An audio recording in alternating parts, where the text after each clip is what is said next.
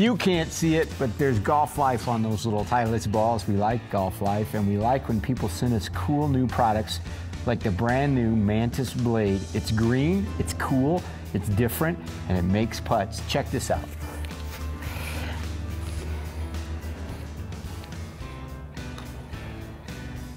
Oh, baby.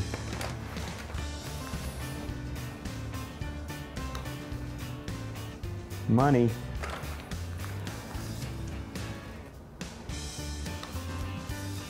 You gotta hit it, Sally.